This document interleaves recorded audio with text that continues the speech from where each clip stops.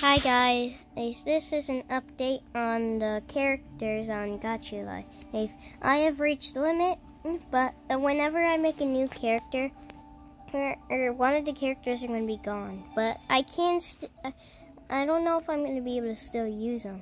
Oh yeah, I might. Oh I. Oh yeah, I will be able to. Okay, bye.